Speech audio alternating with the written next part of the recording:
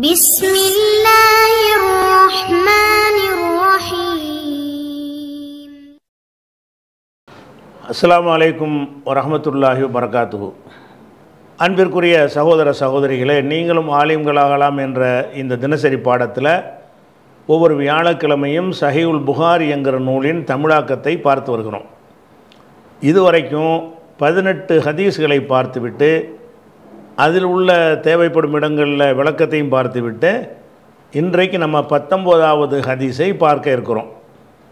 இந்த பத்தொம்போதாவது ஹதீஸை என்ன சொல்லுதுன்னு கேட்டால் பாபுன் ஹதீஸுக்கு முன்னாடி சில ஹதீஸுக்கு பாட தலைப்பு கொடுப்பார்ல. இதுக்கு ஒரு பாட தலைப்பு கொடுத்துட்டு பத்தொம்போதாவது ஹதீஸை ஆரம்பிக்கிறார். பாபுன் பாபுன் என்றால் ஹாதா பாபுன். இது ஒரு பாடம். சொல்லிட்டு என்ன பாட தலைப்பு என்னென்னா இந்த அல் ஃபிராரு மினல் ஃபித்தனி. ஃபித்தன் என்கிற வார்த்தை வந்து ஃபித்ன துன் என்பதற்கு ஜம்மோ ஃபித்தன். ஃபித்தனா என்றால் குழப்பம். ஃபித்தன் என்றால் குழப்பங்கள். அப்போ ஃபித்தன்கிற வார்த்தை வந்து ஜம்முடைய வார்த்தை. அல் ஃபிரார் என்றால் ஃபர்ரன்னா வந்து ஓடுறது விரண்டு ஓடுறது. அல் ஃபிரார்னா ஓடுற ஓடுவதுன்னு அர்த்தம். அப்போ அல் ஃபிராரு மினல் ஃபித்தனி. ஃபித்னாக்களிலிருந்து விரண்டு ஓடுவது மினத்தீனி. மார்க்கத்தில் உள்ளதாகும். மார்க்கம்னா நம்ம தொழுவுற நோன்பு வைக்கிறோம் நினச்சிக்கிட்டு இருக்கிறோம்.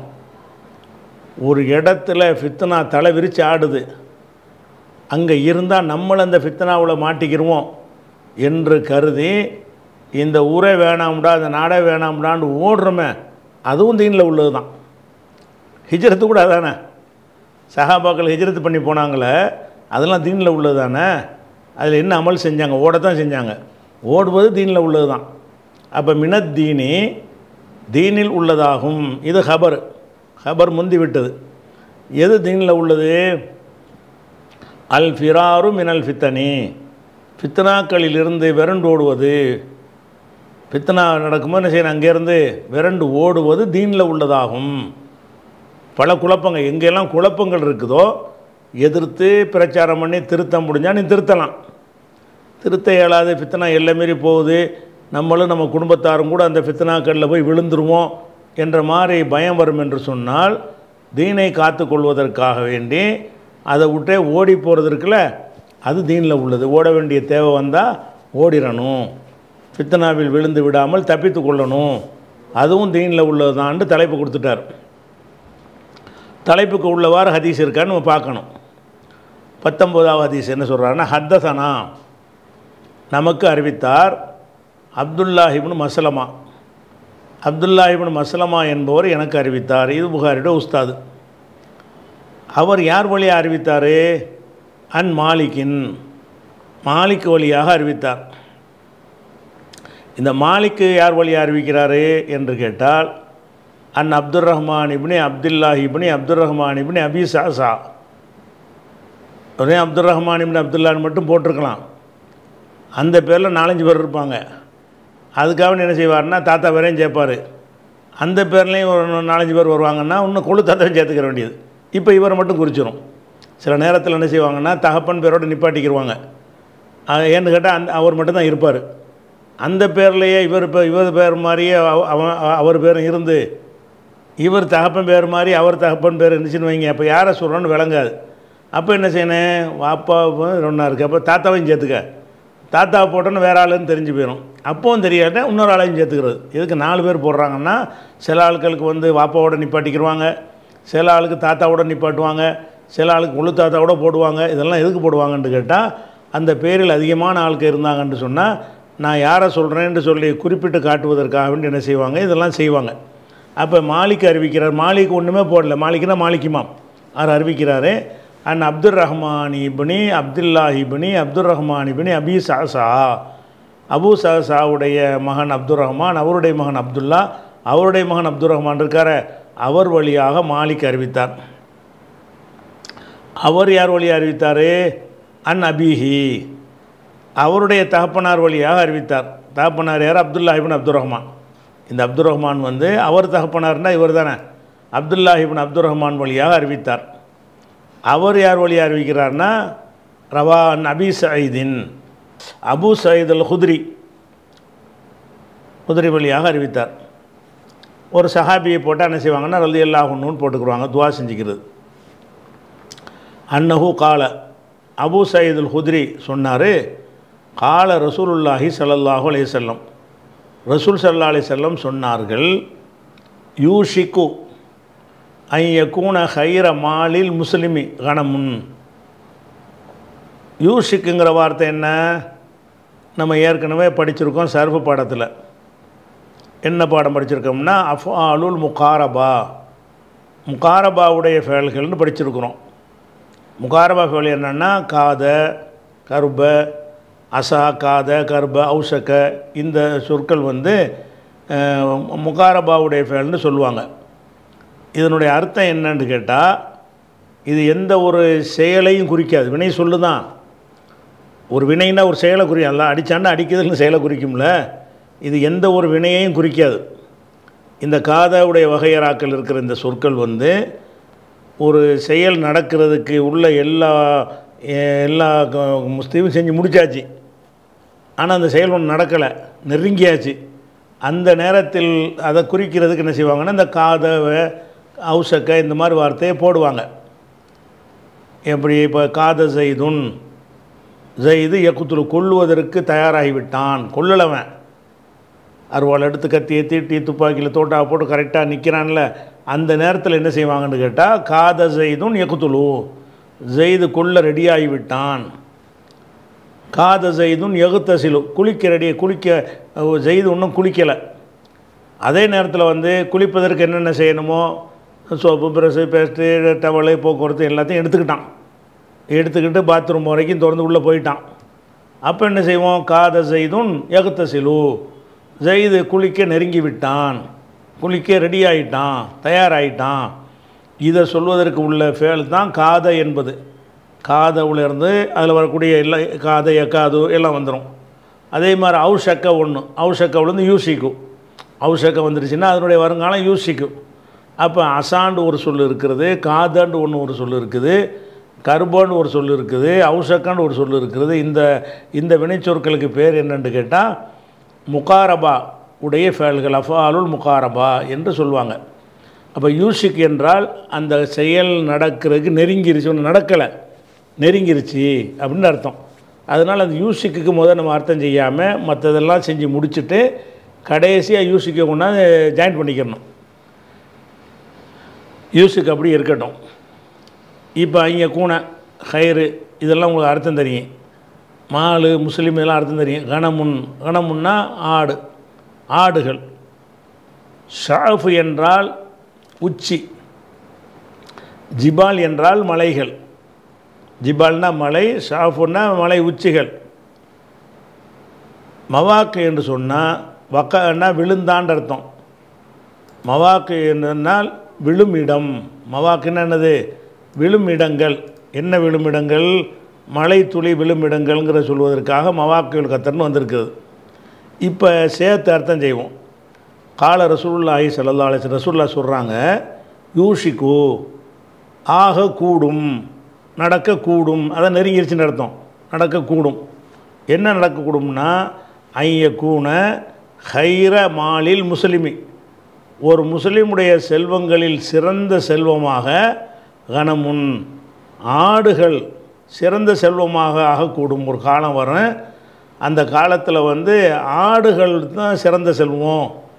ஆடுகளை வைத்து ஆடுகள் எதனால் சிறந்த செல்வம்னு கேட்டால் எத்துபாவு பிஹா. அந்த ஆடுகளை கொண்டு அவன் பின்தொடர்கிறான்.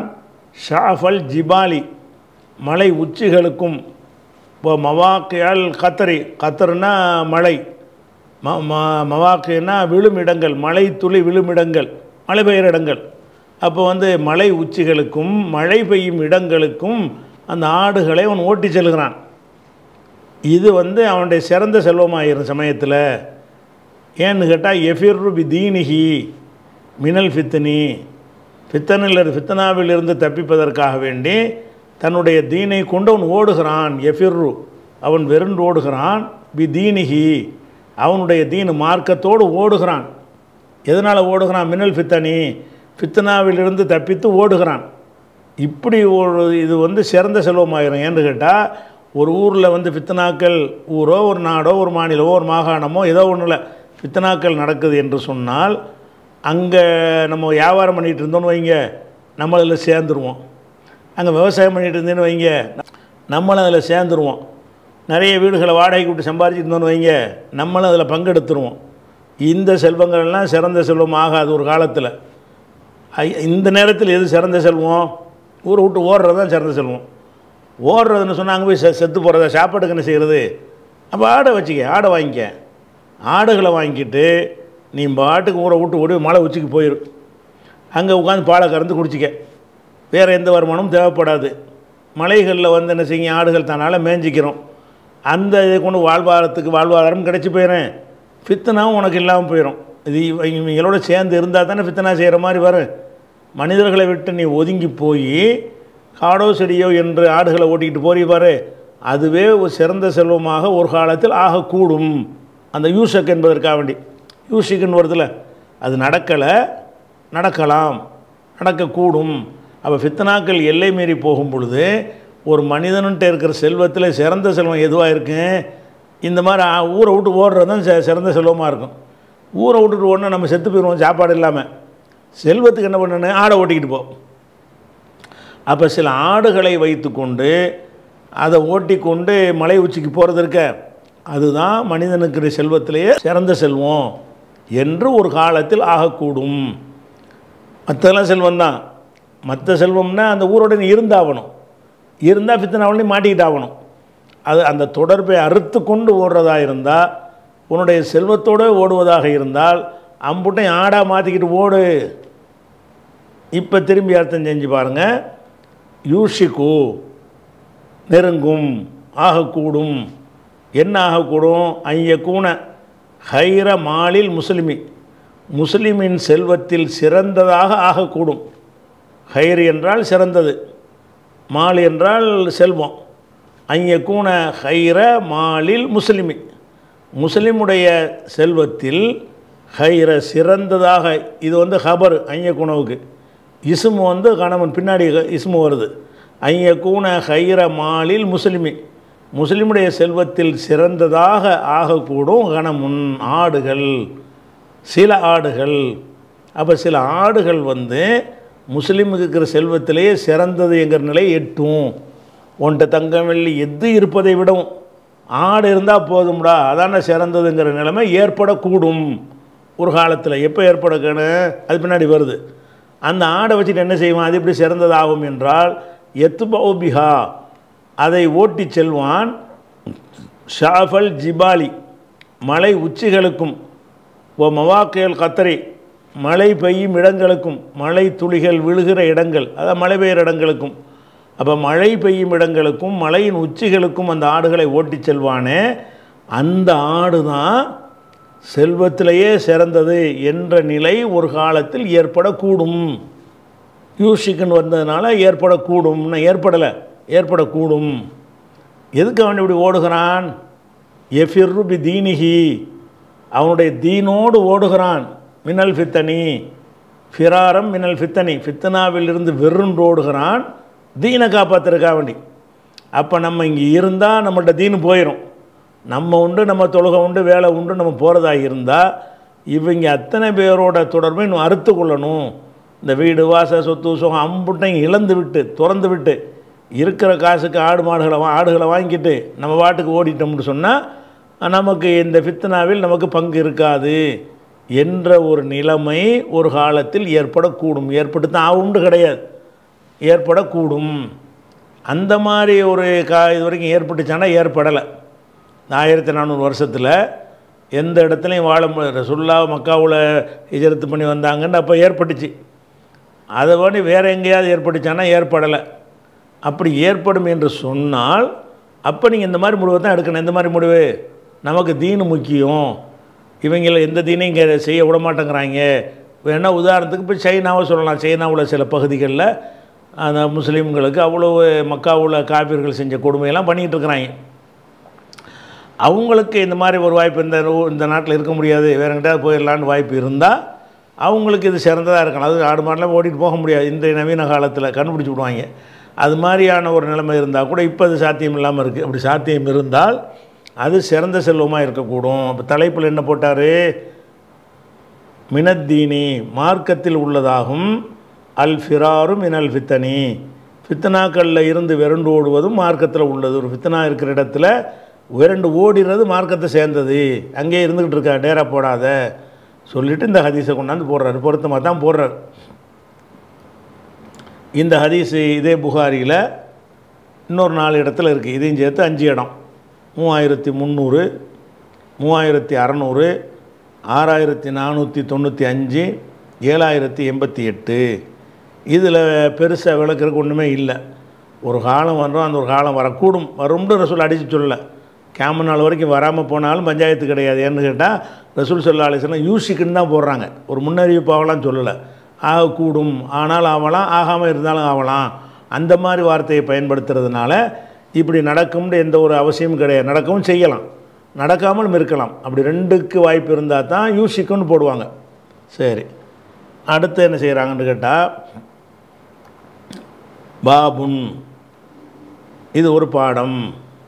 அல்லது இலாஃபை செஞ்சு போட்டார் அவர். அப்படியும் பண்ணலாம். பாபு கவுலின் நபி ஸல்லல்லாஹு அலி செல்லம் ரசூல் சல்லா அலி செல்லமுடைய கூற்று குறித்த பாடம். கவுல்னா கூற்று. பாபு கவுலின்னா அந்த கூற்றை பற்றிய பாடம். பாபு கவுலின் நபி ஸல்லல்லாஹு அலைஹி செல்லம் ரசூல் சல்லா அலி செல்லமுடைய கூற்றை குறித்த பாடம். எந்த கூற்று? அன நான் ஆழமுக்கும் பில்லாஹி.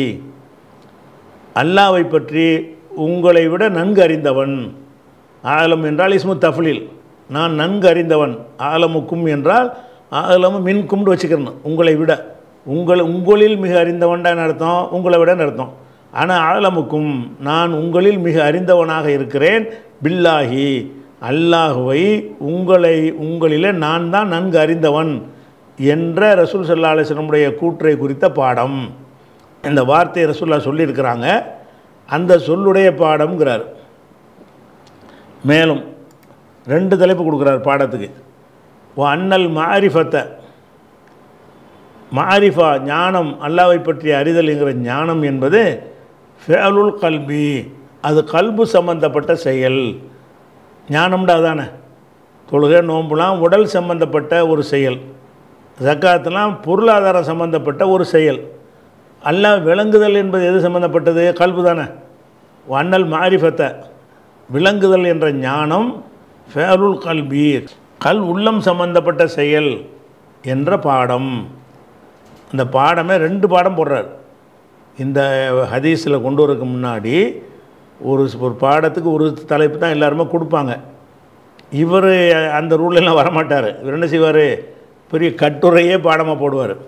இவர் என்ன போடுறாருன்னா நான் தான் நான் நான் உங்களில் நல்லா அறிந்தவன் நான் தான் என்ற பாடம்டா அதை பற்றி மட்டும் பேசணும். என்ன செய்கிறாரு இன்னொரு செய்தியும் கேட்குறாரு அதை பற்றின பாடம் இன்னொரு பாடம் அண்ணல் மாரிஃபத்தை ஃபேலுல் கல்வி மாரிஃபா என்பது மாரிஃபாண்டா ஞானம். ஞானம் என்பது கல்பு சம்பந்தப்பட்ட செயல். உடல் சம்பந்தப்பட்டது நாவு சம்பந்தப்பட்டது இல்லது. கல்பு சம்பந்தப்பட்டது களிமா சொல்வது நாவு சம்பந்தப்பட்டது. மனிதனுடைய செயல்கள் வந்து நாலு விதமாக இருக்கிறது. மனிதனுடைய எந்த ஒரு செயல் எடுத்தாலும் ஒன்று உடல் சம்பந்தப்பட்டதாக இருக்கும். அல்லது நாவு சம்பந்தப்பட்டதாக இருக்கும் சொல் சம்பந்தப்பட்டதாக இருக்கும். அல்லது காசு சம்பந்தப்பட்டதாக இருக்கும். அல்லது கல்பு சம்மந்த கல்புன்னு இங்கே காட்டுறாங்க. இதை மூலையில் தான் இருக்குங்கிறாங்க. அப்போ கல்பு சம்மந்தப்பட்டதாக இருக்கும். நாலு வகையான செயலில் அல்லாவை பற்றி அறிதல் என்பது எது சம்மந்தப்பட்டது கல்பு சம்மந்தப்பட்டது தான் அல்லாஹ் வந்து சிந்தித்து விளங்குறது தான் மாரிஃபா என்பது. அதை பற்றிய பாடம் அப்படின்னு போட்டாரா? போட்டுட்டு ஹதீஸுக்கு போகிறதுக்கு முன்னாடி ஒரு ஆயத்தை போடுறாரு. ஏன் இப்படி நான் அந்த இப்படி ஒரு தலைப்பு கொடுத்தேன் என்றால் என்ன தலைப்பு? மாரிஃபத்து என்றால் ஃபேலுல் கல்பி கல்புடைய ஃபேலு கல்பு சம்பந்தப்பட்ட செயல்னு சொன்னார்ல எதுக்காக இதை சொல்கிறேன் என்று கேட்டால் லி கவுலில்லாஹி தாலா அல்லாஹ் கூறிய காரணத்தினால் அல்லாஹுடைய சொல்லின் காரணமாக. அல்லாஹ் என்ன சொல்கிறான்னு கேட்டால் வலாக்கின் யு ஆஹிதுக்கும் பிமா கசபத்து குழுவுக்கும் இது பக்கராவில் இரநூத்தி இருபத்தஞ்சாவது வசனம். வசனத்துடைய ஒரு துண்டு. கொஞ்சம் முழுசாக எடுத்து பார்த்தா என்ன செய்வாங்கன்னு கேட்டால் அதாவது சத்தியம் பண்ணுறாங்கல்ல சத்தியம் பண்ணும்போது அல்லாஹ் மேலே சத்தியம் செய்கிறது சத்தியம் செய்கிறத வந்து வாய் தவறி ஒரு பழக்க தோஷத்தில் ஒல்லாஹி பில்லாஹின்னு சொல்லுவாங்க சில ஆளுங்க அதாவது அல்லா மேலே அல்லாஹ் இருக்கான் பாக்குறான் அது சத்தியம் செய்கிறோம் அப்படி உணர்ந்து சொல்லாமல் அல்லா மேலே சத்தியமாக தர்றேன் அப்படி வாய் தவறி சொல்லிவிடுறது அப் அப்படி சொல்லும்போது மனசில் அதை பற்றி நினப்பு வச்சு சொல்கிறதில்ல இந்த மாதிரி நீங்கள் செஞ்சீர்களே ஆனால் அல்லாஹ் உங்களை பிடிக்க மாட்டான். இது இதுக்கு முந்தினது. இந்த வசனத்தில் ஒரு பாதி போட்டிருக்கார்ல அதையும் முழுசையும் போட்டிருந்தா தான் இது நல்லாவே விளங்கும். அது வசனத்துடைய முழுமை என்ன? லா ஆக இதுக்கும் அல்லாஹ் உங்களை பிடிக்க மாட்டான். லா ஆக இதுக்கும் உல்லாஹு அல்லாஹ் உங்களை பிடிக்க மாட்டான். பில் லகுவி ஃபி ஐமானிக்கும். நீங்கள் பண்ணுகிற சத்திய சத்தியங்களிலே வீணானவற்றுக்கு அல்லாஹ் பிடிக்க மாட்டான். வீணானது என்றால் உள்ளத்தில் உறுதி இல்லாமல் அதைத்தான் சொல்கிறீங்கன்ற ஒரு நினப்பு இல்லாமல் ஏதோ பழக்க தோஷத்தில் வாயினால் மட்டும் சொல்கிறீங்களே அதுக்கு எல்லாம் பிடிக்க மாட்டான். வேறு எதுக்கு பிடிப்பான்? ஒலாக்கின் அடுத்த பகுதி. அந்த பகுதியை விட்டுட்டார். ஒலாக்கின் என்றாலும் யு ஆகிதுக்கும் உங்களை அவன் பிடிப்பான். பிமா கசபத்து குழுவுக்கும் உங்கள் உள்ளங்கள் எதை சம்பாதித்ததோ அதற்கு பிடிப்பான். மனசில் உறுதி பண்ணி சொல்கிறீங்களே சத்தியம் அதுக்கு தான் நல்லா பிடிப்பான். மனசில் சத்தியங்கிற எண்ணமே இல்லாமல் தூக்க காலத்தில் சொன்ன மாதிரி அல்ல சத்தியமாக தர்றேன்ருவான் ஆமாம் சத்தியம் தான் செய்கிறனும் ஞாபகத்தில் இருக்காது. ஏதோ பழக்கத்தில் வல்லாய் பில்லாயின்னு சொல்லி பழகிட்டதுனால சொல்லிவிடுவாங்க இதுக்கெல்லாம் நல்லா பிடிக்க மாட்டாங்க சத்தியத்தில் கணக்கில் வராது. அதுக்கு பயப்படாத. நான் பிடிக்க மாட்டேங்கிறான்ல இதில் நமக்கு என்ன சொல்லி தரப்படுதுன்னு கேட்டால் கல்புல வந்து உறுதி செஞ்சு சொன்னதை தான் நல்லா பிடிப்பேன்னு சொல்கிறான் வாயிலேருந்து வந்ததுனாலலாம் பிடிக்க மாட்டேங்கிறான். அப்போ சில ஆளுக்கு என்ன செய்கிறாங்க ஈமான் என்றால் லாயிலா இல்லல்லா மொழிவதுன்னு சொல்லுவாங்க. அது கிடையாதுங்கிறார் இவர். மொழிவது கிடையாது. மாரிஃபத்துல் கல்பு தான். கல்பில் அது விளங்கணும். லாயிலா இல்லை விளங்கி சொல்கிறானா சும்மா வார்த்தை சொல்கிறானா வார்த்தை சொன்னானேயானால் அவன் கல்பு விளங்கலை. கல்பு விளங்கலைன்னா அது ஈமான் அல்ல. மாரிஃபத்துல் கல்பு தான் என்னது? ஈமானே சொ ஈமான்ங்கிறதுல அடங்கும்னு சொல்லி சொல்கிறார் அதுக்கு ஆதாரம் என்ன காட்டுறாருன்னு கேட்டால் ஒல்லாகி நான் இதை செய்வேன்னு ஒருத்தன் சொல்கிறான் அல்லாவை தான் பயன்படுத்துகிறான் ஆனால் அல்லாவை பயன்படுத்தும் நினச்சி அவன் செய்யலை. அவன் அறியாமல் என்ன சொல்கிறோன்னு தெரியாமல் வாய் தவறி இந்த வார்த்தை ஒருவனுக்கு வந்து விட்டது என்றால் நீ அல்லா சத்தியம் பண்ணிட்ட கஃபார கூட நல்லா சொல்ல மாட்டான். அந்த வசனம் அப்படி சொல்லுது. ரெண்டு இரநூத்தி இருபத்தஞ்சி வசனம் எப்படி சொல்லுது? லாயு ஆக இதுக்கும் அல்லாஹ் உங்களை பிடிக்க மாட்டான். பில்லகவி ஃபி ஐமானிக்கும். உங்களுடைய சத்தியங்களில் வீணானவற்றுக்கு பிடிக்க மாட்டான். வீணானதுன்னா என்ன? இது விளக்குது. உலாக்கின் என்றாலும் யுவாக இதுக்கும் உங்களை பிடிப்பான். விமா கசபத்து குழுவுக்கும் உங்கள் உள்ளங்கள் எதை உறுதி செஞ்சதோ அதுக்கு தான் பிடிப்பான். உள்ளத்தில் நினச்சி பிளான் பண்ணி அல்லாமல் சத்தியம் செய்கிறேன்னு நினச்சி சொன்னேன் பாருங்கள் அதுக்கு தான் பிடிப்பேங்கிறான் அப்போ. அப்போ வந்து மாரிஃபத்து என்பது வந்து எது சம்மந்தப்பட்டது வாயில் மொழிவது அல்ல ஈமான். வாயில் மொழிவதை விட எது இருக்கனே? மனசில் இருக்க வேண்டும். மனசு நம்ப வேண்டும். கல்பு வந்து உறுதி பண்ண வேண்டும் என்று தலைப்பு போட்டார்ல. அந்த தலைப்புக்கு ஆதாரம். அண்ணல் மாரிஃபத்தை ஃபேலுல் கல்வின்னு போட்டார்ல. மாரிஃபா என்ற ஞானம் வந்து கல்புடைய செயல் தானே தவிர நாவின் செயல் அல்ல. இது ஒரு பெரிய சர்ச்சையே அந்த காலத்தில் நடந்துச்சு. ஒருத்தன் ம- அந்த சொல்லுக்கு அர்த்தமே தெரியாமல் அசகத் அல்லா இல்லா இல்லைங்கிறான் முஸ்லீம் ஆயிடுவானா என்று கேட்டால் சொல்லிட்டான்ல ஆயிடுவான் அப்படின்னு ஒரு சர்ச்சை. அது சொன்னால் பத்தாதுப்பா கல்பில் இருக்கணும்லப்பா அது ஒரு சர்ச்சை. ஆனால் இது பெரிய சண்டையெல்லாம் நடந்திருக்கு அந்த காலத்தில். சிந்திச்சு பார்த்தா அது சண்டையே தேவையில்லை. ஏன்னு கேட்டால் இது ரெண்டு வெவ்வேறு அர்த்தத்தில் உள்ளது. ஒருத்தன் வாயினால் சொன்னோன்னா ஒரு மூமின் தான் நம்ம சொல்லுவோம். ஏன்? கல்புனால் சொன்னா உனக்கு கண்டுபிடிக்கலுமா? அல்லாஹ்வுடைய விஷயத்தில் ஈமான் என்பது வேற. மனிதர்கள் ஈமான் என்று முடிவு செய்வது நாவல சொல்கிற கொண்டு தான் ஒருத்தன் இஸ்லாத்தில் ஏற்றுக்கிறேன்னு ஒருத்தன் வர்றான். அஷத் அல்லா இலாஹ் இல்லல்லாங்கிறான். அஷத் அன்னமும் ரசுல்லாங்கிறான் முஸ்லீம் ஆகிட்டான்ல உள்ளத்தில் சொன்னான்னு உங்களுக்கு தெரியுமா? யாருக்காச்சும் தெரியுமா? நம்ம மூவின்னு தான் சொல்லணும். அப்போ நமக்கு வந்து அதை உள்ளத்தில் உள்ள அறிய முடியாதுங்கிற காரணத்தினால வாயினால் சொல்லுவதுதான் நம்மளை பொறுத்த வரைக்கும் ஈமான். அல்லாஹ் பொறுத்த வரைக்கும் ஈமான் என்ன அவன் ஏமாற்றி நம்மளை சொல்லிட்டு போயிட்டான். மறுமையில் மாட்டிக்கணும் எங்கடா நீ வாயினால் சொன்ன கல்புல எங்கடான்னு நல்லா கேட்பான் ஆகரத்து சம்மந்தப்பட்ட ஒரு விஷயத்தில் அப்படி துன்யா சம்பந்த விஷயத்துக்கு இப்படின்னா சண்டைக்கு வேலையே இல்லை. இவங்க இதுக்கு இப்படி சண்டை பிடிச்சிருக்காங்க இதுதான் ஈமான் அதெல்லாம் அதான் ஈமான். இதுதான் ஈமான் பெரிய பயங்கர சண்டை. பெரிய கட்டுரைகள் ஆர்டிக்கல் எல்லாம் கடைசியில் நுணுக்கத்தை விளங்காமல் என்ன செய்வாங்க? சண்டை போட்டிருப்பாங்க. எல்லாம் பெரிய பெரிய அறிஞர்களாக இருப்பாங்க. இது எதுக்குப்பா சண்டை போடுறீங்க? வாயினால் உள்ளது ஈமான் இல்லைங்கிறது அல்லாட்ட உள்ள விஷயம்ப்பா நீங்கள் வெளிப்படையான விஷயத்தானே முடிவு செய்யணும். உங்களுக்கு வாயினால் சொல்லிட்டான்ல போதும்ல? வாயினால் சொல்கிறது தானே உனக்கு அறிய முடியும். அப்போ நாம் ஒருவனை மூமின் என்று முடிவு செய்வதற்கு நாவினால் சொல்வது போதும். அல்லாஹ் ஒருவனை மூமின் என்று முடிவு செய்வதற்கு மனசு நம்ப வேண்டும்னா முரண்பாடு ஏதாவது இருக்கா? ரெண்டு கருத்தா இது? ஒரு கருத்து தானே? இதில் வந்து இவர் இந்த கருத்தை சார்ந்து பேசுகிறார் வண்ணல் மாரிஃபத்தை மாரிஃபா என்பது ஃபேலுல் கல்வி கல்பு சம்மந்தப்பட்டது தான் அதுக்கு தான் தலைப்பு போடுறாரு. போட்டு என்ன செய்கிறாரு அவன் வாயினால் சொல்வதா ஒருத்தர் மூமின் ஆக மாட்டாங்கிறார். இது சொல்லவே கூடாது. மன மனசுனால சொன்னால் தான் மூமின் ஆவான்ங்கிறது அல்லா சம்மந்தப்பட்டதுப்பா நீங்கள் சொல்ல தொழுகையே தொழுவுறீங்கன்றா கூட வெளிப்படையாக தொழுதா நம்ம தொழுகை தான். நடிக்கிறதுக்கு ஒரு தொழுதான்னா தொழுகை இல்லை தான் ஆனால் நீங்கள் நடிக்கிறதுக்கு தொழுதான்னு உங்களுக்கு எப்படி தெரியும்?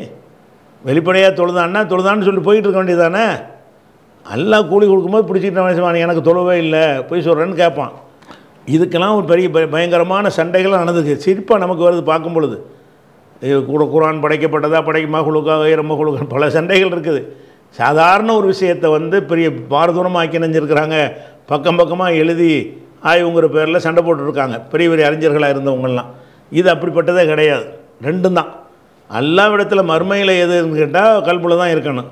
உலகத்தில் மூமின்னு சொல்வதற்கு என்னன்னு கேட்டால் வாயில் உள்ளது தான் அதான் நமக்கு தெரியும். நான் உள்ள சொல்கிறது தான் நமக்கு தெரியும். சரி இதுக்கு வந்துடுவோம் வண்ணல் மாரிபத்த ஞானம் என்பது ஃபேலுல் கல்வி கல்புடைய செயல் என்று சொல்லிட்டு ஏனென்றால் லி கவுலில்லாஹி தாலா அல்லாஹ் சொல்லுகிற காரணத்தினால் என்ன சொல்கிறான்? யோக யுவாகிதுக்கும் என்றாலும் அவன் பிடிப்பான். பிமா கசபத்து குழுவுக்கும் உங்கள் உள்ளங்கள் செய்ததைத்தான் பிடிப்பான். உங்கள் உள்ள அதை செய்யணும். அதாவது தீர்மானிக்கணும். முடிவு செய்யணும். அதான்னு சொல்லி சொல்கிறான் இது ஆதாரமாக காட்டிக்கிறார். அடுத்து நம்ம இருபதா குரான் ஆயத்தை இந்த ரெண்டாவது தலைப்புக்கு ஆயத்தை போட்டு விட்டார். முதல் தலைப்புக்கு ஹதீஸை போடுவார். முதல் தலைப்பு என்ன? ரெண்டு தலைப்பு போட்டார்ல. ரசூல்லா நான் தான் மிக அறிந்தவன்ட்டு சொன்னாங்கல்ல. அது பற்றிய பாடம் அப்படின்னு இருக்குல்ல இந்த பாடத்துக்கான ஹதீஸு இருபதாம் ஹதீஸ். ஹத்தசனா முகமது பின் சலாம். எனக்கு வந்து முகமது பின் சலாம் சொன்னார். கால அவர் சொல்கிறாரு அக்பரனா அபுதா. அபுதா என்பவர் வந்து எனக்கு சொன்னார். யார் வழி அவர் சொன்னார்? அன் ஹிஷாமின். ஹிஷாம் வழியாக சொன்னார். ஹிஷாம் யார் வழியாக சொன்னார்? அன் அபிஹி. அவங்க ஹிஷாமுடைய வாப்பானா உருவா. உருவா வழியாக உருவா என்பவர் தான் அந்த ஹிஷாமுடைய தகப்பனார். பெருவழியமாக எல்லாருக்கும் தெரிஞ்சதுனால பே போ- பேரை போட மாட்டாங்க. ஹிஷாமுண்டாலேயே இதை இவரை தான் சொல்கிறாங்கன்னு ஹதீஸில் வந்தால் இவரை தான் இருப்பார்னு எல்லாருக்கும் தெரியும்.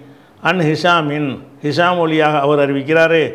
அன் அபிஹி அவர் யாருன்னா உருவா வழியாக அறிவிக்கிறாரு. உருவா யாருன்னா அண்ணா ஒரு ஆயிஷா நாயக்குடைய ம- மகரமான ஒரு ஆளியார் ஜுபைருடைய மகர மகன் அவர். அன் அபிஹி அவர் வந்து உருவா வழியாக அறிவிக்கிறாரு. அவர் அன் ஆயிஷத்தை. அவங்க ஆயிஷா நாய் வழியாக அறிவிக்கிறாங்க காலத். அவங்க சொன்னாங்க ரசூல் ஆயிஷா நாய் சொல்கிறாங்க காண ரசூலுல்லாஹி சல்லல்லா அலி செல்லம் ரசூல் சல்லா அலி செல்லம் அவர்கள் இதா அமரகும் காணவுக்கு பிறகு அர்த்தம் செஞ்சுக்கிருவோம். கடைசியாக தானே அர்த்தம் செய்யணும் காண ரசூலுல்லாஹி சல்லா அலி செல்லம் ரசூல் சல்லா அலி செல்லம் இருந்தார்கள். இருந்தார்கள்னு சொன்னால் ஒரு மீனிங் இல்லை அதுக்காக வேண்டி கடைசியாக செய்யலாம். முந்தி ஒரு நாள் செஞ்சுட்டு போங்களேன். காண ரசூலுல்லாஹி சல்லா அலி செல்லம் ரசூல் சல்லா அலைஹி இருந்தார்கள். எப்படி இருந்தார்கள்? பின்னாடி வரும். இதா அமரகும் மக்களுக்கு கட்டளையிடும் பொழுது அவர்கள்னா மக்கள்ன்ற அர்த்தம். அவர்களுக்கு கட்டளையிடும் பொழுது அமரகும் அவர்களுக்கு கட்டளை இடுவார்கள் மினல் அமாலி. அமல்களில் பிமா யுத்தி கூண எதற்கு அந்த மக்கள் சக்தி பெறுவார்களோ அதற்கு கட்டளையிடுவார்கள் ரசூல்லா ஒரு அமல் செய்கிறதா இருந்தால் இந்த மக்களுக்கு ஏழுமான்னு பார்ப்பாங்க. ஏழுமானது தான் கட்டளையிடுவாங்க ஏழாத ஒன்றை தூக்கி இதான் செய்யன்னு செய்ய மாட்டாங்க? கட்டளையிட மாட்டாங்க. இதா அமரகும் மக்களுக்கு அவர்கள் கட்டளையிடுவார்களே ஆனால் அமரகும் மினல் அமாலி அமல்களில் அவங்க கட்டளையிடுவாங்க பிமா யுத்தி கூண பிமான பில்லதி அல்லதியுடைய அர்த்தம் மௌசூல். பிமா யுத்திய கூண பில்லதி யுத்திய கூண எதற்கு அவர்கள் சக்தி பெறுவார்களோ அதைத்தான் கட்டளையிடுவாங்க ரசுல்லா மக்களுக்கு வந்து ஒரு கட்டளை இடும்போது வேறு வேறு மார்க்கத்தில் இருக்கிற மாதிரி நெருப்புல இறங்கு அந்த மாதிரியான ஒரு கட்டளையெல்லாம் போட மாட்டாங்க. எது மக்களுக்கு ஏழுமோ அதைத்தான் கட்டளை போடுவார்கள். அப்படி இருக்கும் பொழுது காலு மக்கள் வந்து கேட்டார்கள் ரசூல்லாட்ட கேட்குறாங்க இன்னா லஸ்னா கஹை அத்திக்க யார சூழல்லா அல்லாவுடைய தூதரே லெஸ்னா நாங்கள் இல்லை. லெஸ்னாங்கிறது லைச என்பதனுடைய லைசன் ஒரு ஃபேல் இருக்குல்ல அதுவும் அந்த காணவுடைய வகையில் உள்ளது தான் அப்போ லஸ்னாங்கிறது என்ன? லைச லைசா லைசு லைசத்து லைசத்தா? லஸ்ன. லஸ்த லஸ்துமா லஸ்தும் அது அது மட்டும் இப்படி வரும். விளங்குதா? அப்போ லஸ்ன லஸ்து லஸ்னான்னு வரும். இன்னா நாங்கள் லஸ்னா. நாங்கள் இருக்கவில்லை. ஹை அத்திக்க உங்களை போன்றவர்களாக நாங்கள் இருக்கவில்லை. சஹாபாக்கள் சொல்கிறாங்க அல்லாவுடைய தூதரை நீங்கள் வந்து லேசான லேசான கட்டளையாக போடுறீங்க. எது சாத்தியமாகுமோ அந்த கட்டளையை போடுறீங்க. அது சரிதான் உங்களுக்கு சரிதான். நாங்கள் உங்களை மாதிரி கிடையாத எங்களுக்கு கொஞ்சம் பெருசாக செஞ்சால் தானே நாங்கள் சொர்க்கத்துக்கு போக முடியும். நீங்கள் வந்து கொஞ்சம் செஞ்சால் கூட சொர்க்கத்துக்கு போயிடுவீங்க உங்களுடைய பாவங்கள்லாம் மன்னிக்கப்பட்டு போச்சு. அதனால் எங்களுக்கு என்ன செய்யுங்க? லேசாக போடாதீன்னு கேட்குறாங்க எப்படி கேட்குறாங்க காலு அந்த மக்கள் கேட்டாங்க. இன்னா நாங்கள் லெஸ்னா நாங்கள் இருக்கவில்லை க ஹை அத்திக்க உங்கள் ஹை அத்துங்கிறது சிவத்து. உங்கள் தன்மையை போன்றவர்களாக நாங்கள் இருக்கவில்லை. யாரை சொல்லலாம்? அல்லாவுடைய தூதரை நாங்கள் உங்களை போன்றவர்களாக இருக்கவில்லை. ஏன்னு கேட்டால் இன்னல்லாக இறைவன் கது கஃபரலக்க உங்களுக்கு மன்னித்து விட்டான். மாத்த கத்தமம் என்று தம்பிக்க ஒமா தகர் பாவங்களில் முந்திய ஒன்றையும் பிந்திய ஒன்றையும் எல்லாம் மன்னிச்சிட்டான். உங்களுக்கு வந்து முன்பாவமும் மன்னிக்கப்பட்டுருச்சு. இனிமேல் நீங்கள் செஞ்சால் கூட அது அட்வான்ஸாக மன்னிப்பை போச்சு. அதனால் நீங்கள் என்ன செய்யுங்க? உங்களை போல் கிடையாது. நீங்கள் இப்படி கொஞ்சம் கொஞ்சமாக சொல்லாதீங்க. நல்ல பெருசு பெருசாக சொல்லுங்கள் ஏன்னா நாங்கள் இப்போ நாங்கள் மன்னிப்பு பெறதா இருந்தால் ரொம்ப செய்யணும்ல. நீங்கள் என்ன செய்கிறீங்க கொஞ்சம் கொஞ்சமாக சொல்கிறீங்க உங்கள் தகுதிக்கு கொ- ஒன்றுமே செய்யாட்டாலும் பரவாயில்ல. நீங்கள் பாவம் மன்னிக்கப்பட்ட ஒரு ஆளாக இருக்கிறதுனால அல்லாவுக்குன்னு ஒன்றுமே செய்யாட்டா கூட உங்களை பாதிக்காது. நாங்கள் உங்களை மாதிரியா? அப்படி கேட்குறாங்க ரசூல்லா சொல்கிறதுல அவங்களுக்கு இந்த போதுமானதாக தெரியல உங்களுக்கு ரசூல் சல்லா சொல்லம் இடக்கூடிய அந்த கட்டளை வந்து கொஞ்சமாக தெரியுது. அப்போ ஆயிஷனாய் சொல்கிறாங்கல்ல என்னை ரசூல்லா கட்டளையிட்டார்களே ஆனால் மக்களுக்கு எது ஏழுமோ அதை கட்டளையிடுவார்கள். இதை பார்த்தவொன்னே காலு சஹாபாக்கள் கேட்குறாங்க இன்னா லெசனா கஹை அத்திக்க யார் ரசூலல்லா அல்லாவுடைய தூதரை நாங்கள் உங்களை போல இல்லையே. இன்னல்லாஹக்கு அது கஃபரலக்க அல்லாஹ் உங்களுக்கு மன்னித்து விட்டானே. மாண்டா அல்லது தக்கத்தம் தம்பிக்கை. உங்கள் பாவங்களில் எது முந்தி விட்டதோ அதையும் ஒமா தகர ஒல்லதி தகர எது பிந்தி விட்டதோ எதுவும் மாவுக்கு அல்லது விட அர்த்தம் தான் எது பிந்தி விட்டதோ அதையும் எல்லாம் மன்னித்து விட்டானே. நாங்கள் உங்களை மாதிரி இல்லையே. அப்படின்னு என்ன அர்த்தம்? அதுக்கு அதுக்கு பிந்தினு நம்மளை வச்சுக்கிறணும். நாங்கள் உங்களை போல் இல்லை. அப்படின்னா என்ன அர்த்தம்னா உங்களுக்கு கொஞ்சம் அமல் போதும். எங்களுக்கு பத்தாது. எங்களுக்கு நாங்கள் பாவங்கள்லாம் மன்னிக்க போகிறோம்னா பெருசு பெருசாக சொல்லுங்கள் ஜாஸ்தியாக சொல்லுங்கள் சிரமப்பட்டு செய்கிற மாதிரி கொண்டாந்து சட்டத்தை போடுங்க. அவளும் அடக்கி இந்த வார்த்தையை வச்சு கேட்குறாங்க அப்போ இப்போ எகலபு ரசூல் சல்லா அலிஸ்லாம் அப்போ கோவம் கோவப்படுவார்கள். ஹத்தா யூரஃபல் கலபு ஃபி வஜீஹி. அவங்க முகத்தில் கோபம் வந்து அறியப்படும். முகம் செவந்துடும் ஒரு ஆள் கோபமாக இருந்தால் நமக்கு தெரியத்தானே செய்யும். மூஞ்சில் தெரியுமா இல்லையா? இப்போ ரசூல்லா கோவப்படுவார்கள். ஹத்தா யூரஃபல் கலபு. கோபம் வந்து அறியப்படும். ஃபி வஜிஹி. அவங்க முகத்தில் அறியப்படும் அளவுக்கு கோவப்படுவார்கள். இந்த கேள்விக்கு. கோவப்பட்டு ஒரு போதனையை சொல்கிறாங்க அதை இன்ஷால்லாம் என்ன செய்வோம்? அடுத்த வாரத்து பார்ப்போம்.